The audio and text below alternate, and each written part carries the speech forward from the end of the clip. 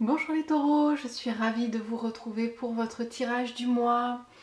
Aujourd'hui nous allons travailler avec euh, le Tanis le Normand, nous tirerons une carte de l'oracle des reflets, donc ici c'est la seconde édition.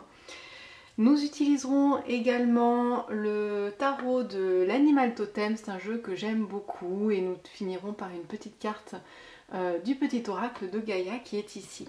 Vous retrouvez tous ces jeux sur mon site. Euh, sauf celui de l'animal totem, donc je vous mets la référence en barre d'infos. Bien sûr, vous pouvez compléter ce tirage en regardant votre signe lunaire ainsi que votre ascendant. Et je vous propose euh, tous les jours sur ma chaîne YouTube du lundi au vendredi un petit tirage euh, du, jour.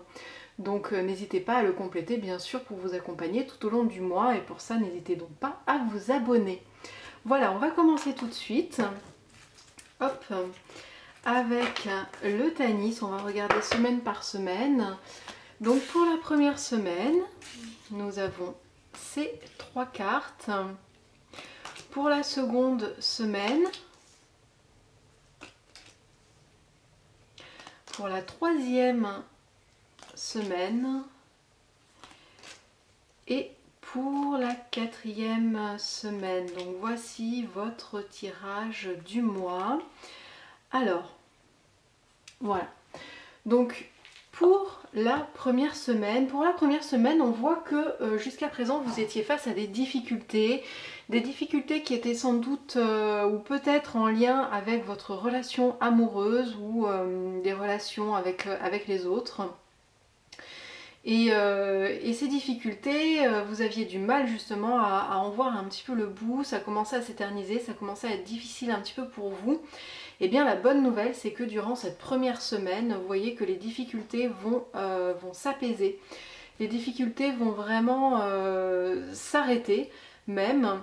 Euh, ça peut être en lien justement avec, la personne qui partage votre vie ou une personne qui est chère à votre cœur qui va vous aider dans, le, fait d'apaiser hein, ces difficultés, de passer au-delà. Euh, qui va vous accompagner dans ce processus-là. Mais en tout cas, il va y avoir vraiment un renouveau, un souffle nouveau qui va arriver pour ce début de ce, pour, ce, pour cette semaine-là, pour cette première semaine du mois, euh, pour vous les taureaux.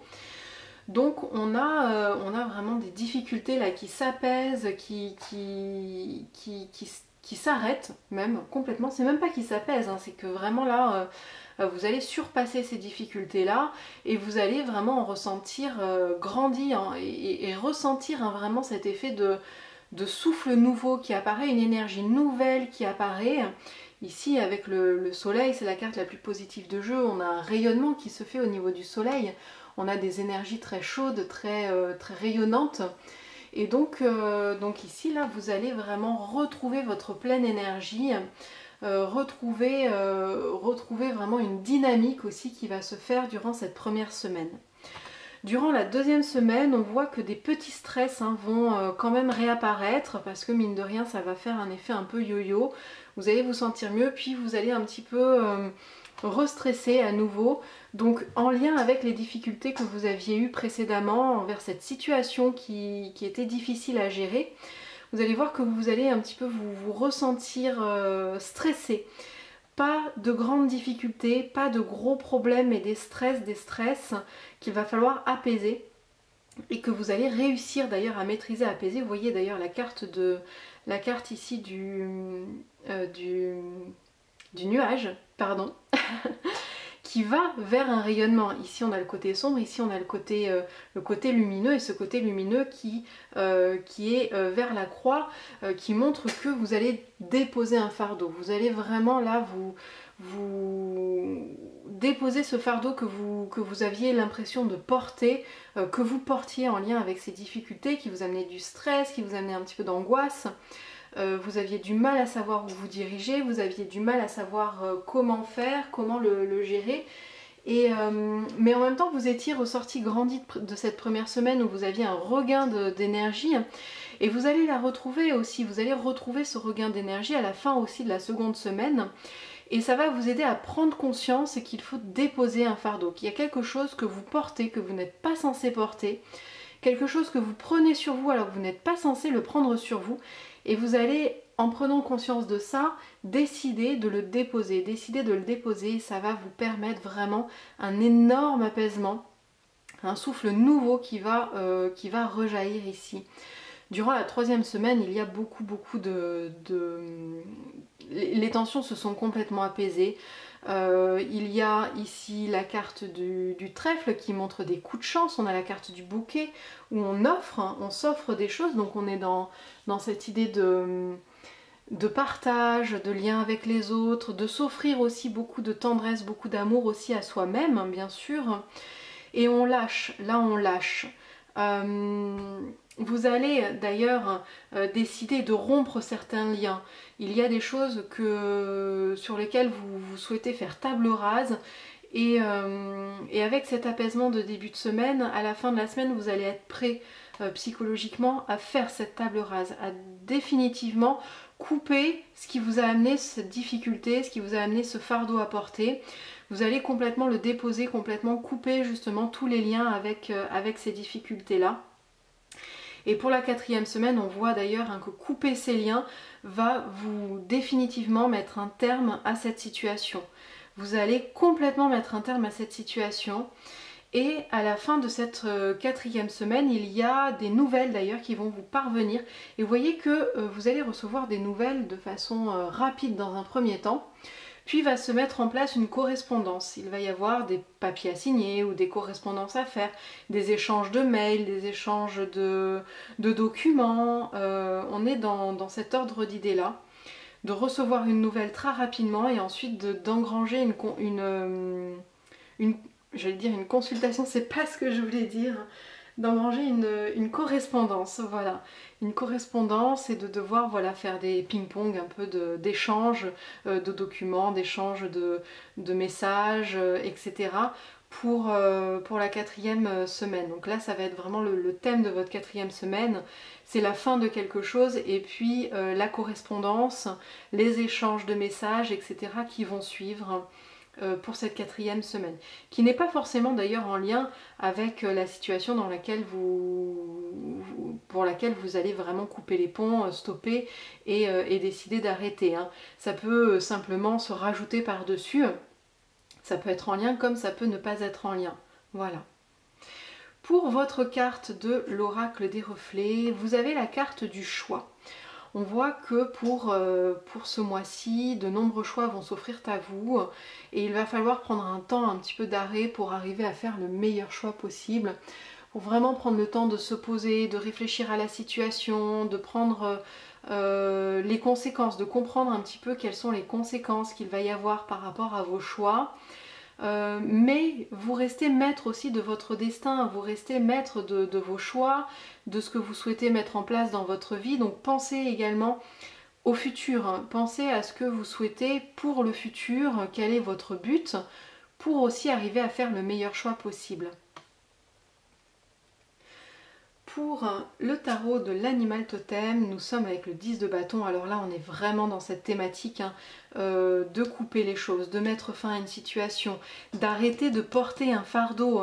Euh, il y a un fardeau que vous vous mettez sur le dos et là, c'est plus du tout, euh, c'est plus du tout le, moment de faire ça. Il faut vraiment couper certains liens, couper certaines choses qui vous alourdit, que vous portez sur vous alors qu'en réalité vous n'en avez plus besoin. Il faut vous libérer de, ce fardeau-là.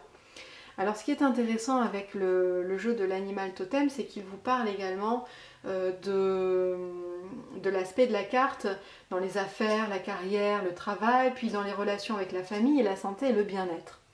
Alors euh, pour les affaires, la carrière et le travail, il vous dit qu'il y a un bon moment euh, pour déléguer et que c'est vraiment maintenant qu'il va falloir apprendre à déléguer. Vous assumez trop de responsabilités et si vous continuez, vous allez trébucher, vous allez tomber et vous risquez de vous blesser mais aussi euh, affecter votre réputation professionnelle. Donc attention à ça. Un leader doit savoir quand lâcher prise et quand concentrer son énergie sur des choses plus importantes. Donc ne prenez pas tout sur vous, ayez euh, la sagesse de déléguer, de faire confiance aux autres et de déléguer ce que vous devez déléguer. Par rapport à la famille, à vos relations, euh, ce 10 de bâton, il vous informe que vous avez pris sur vos épaules plus que ce que vous pouviez réellement gérer, que vous avez perdu de vue vos propres besoins et désirs et que maintenant vous vous sentez submergé. Si vous rectifiez pas rapidement les choses, toute votre énergie, toute cette énergie justement, euh, va euh, s'enflammer rapidement et se transformer en ressentiment, en colère, en émotions négatives. Donc c'est pas du tout, ça va pas être profitable pour vous. Encore une fois, déléguer, encore une fois, sachez faire la part des choses pour ne pas euh, tout gérer et pour ne pas ressentir cette, grande frustration dans vos relations.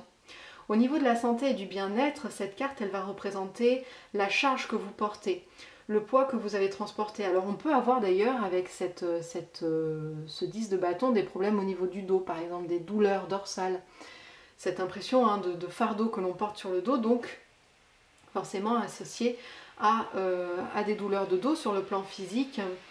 Euh, l'escargot que l'on voit ici vous fait savoir que vous n'avez pas besoin, que vous n'en aurez, que vous n'en avez jamais eu besoin de porter autant de choses et maintenant, il est temps justement de, délaisser de délester un petit peu ce poids que vous avez transporté, tant au niveau physique que euh, vibrationnel du coup. Voilà, on va tirer une petite carte de l'oracle de Gaïa pour terminer ce tirage. Alors, fais le deuil. Coupe les liens qui te retiennent dans le passé. Ta vie est dans l'ici et maintenant. Voilà, donc là, euh, comment vous, dire, c'est exactement ce qu'on a vu avant avec, euh, avec le Le Normand, où on a ce travail. Alors, c'est long, un travail de deuil à faire, ça prend du temps et c'est normal, il faut accepter ça aussi. Et vous allez voir que justement, euh, vous faites un travail sur tout le mois. Vous voyez, vous, vous avez des difficultés, vous prenez conscience du fardeau que vous portez, vous décidez de couper les liens et vous mettez fin à la situation. Mais vous voyez que ça se décante sur tout un mois aussi. Les choses ne se font pas comme ça dans l'instant en claquant des doigts, c'est difficile, c'est long, ça peut être douloureux, ça peut prendre diverses formes. Et surtout, il y a une prise de conscience, bien sûr, à avoir qu'un passé peut être difficile à porter. Mais on est bien dans ce thème, hein, bien sûr, aussi avec le 10 de bâton d'un fardeau que l'on porte, de trop de responsabilités, d'une... On porte sa croix. Vous portez votre croix. Et là, il est temps de vous en délester parce que euh, cette croix que vous vous mettez, ce fardeau que vous vous mettez, il n'est pas pour vous. Il n'est pas pour vous il vous empêche d'avancer. Et maintenant, il est bon vraiment de, faire ce travail sur tout ce mois-ci, de vous délester des poids du passé pour avancer dans votre vie pleinement et de façon euh, beaucoup plus sereine.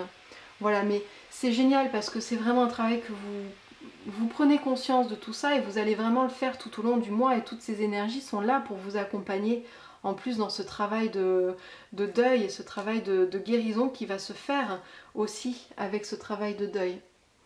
Voilà les taureaux, je vous souhaite un très très bon mois, je vous embrasse bien fort.